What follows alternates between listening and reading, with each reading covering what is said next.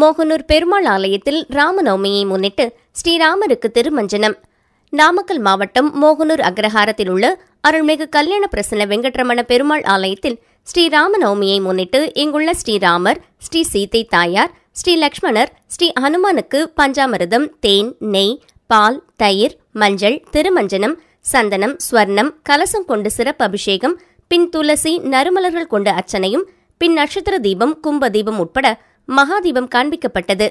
இதில் ஏராளமானவர்கள் கலந்து கொண்டு ஸ்ரீராமபிரானையும் மூலவர் கல்யாண பிரசன்ன வெங்கட்ரமண பெருமாளையும் வணங்கி சென்றனர்.